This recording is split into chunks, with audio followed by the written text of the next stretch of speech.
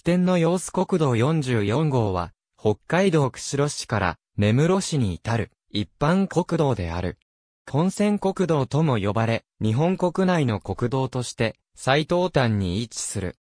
同島の太平洋岸に位置する、釧路総合振興局南部の都市である、釧路市の国道38号の終点でもある、ヌサマイロータリーから、北海道最東端に位置する根室市内の、根室振興局前の幸い町一丁目交差点と、結ぶ、延長約 124km の主要幹線道路で、一般国道の中で最も東にある路線でもある。主な通過地は、釧路郡釧路町、厚岸郡厚岸町、浜中町、根室市厚床である。経路は、JR 根室本線と概ね並行するルートであり、同等の太平洋岸に近い位置を走り、別名を、混線道路とも呼ばれる。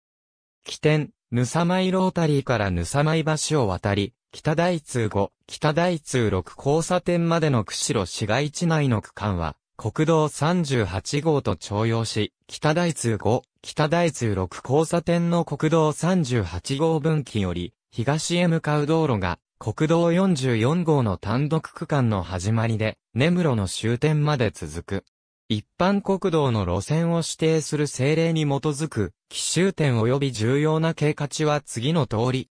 釧路と根室とを結ぶ国道は、1885年の内務省国時代6号、国道表に国道43号、東京より根室県に達する路線の一部として現れる。この路線は、室蘭まで、現5号36号の前身となる国道42号と重複し、室蘭から北海道の南側の海岸沿いに進むものであった。当時の国道は、東京と各地の開港場、府県庁を結ぶものであり、道東を管轄していた根室県の県庁所在地である、根室までの路線も国道として指定されたものである。